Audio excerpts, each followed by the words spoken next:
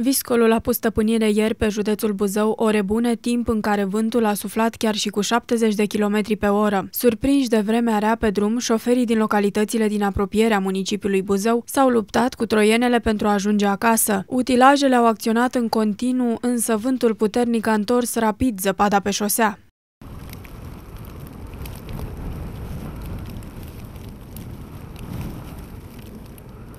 Din cauza vizibilității reduse, n-a văzut zăpada și am intrat în Troianul ăsta. Polițiștii au vegheat permanent ieșirile din municipiu și din județ ca să-i avertizeze pe șoferi. Uitați, nu vedeți,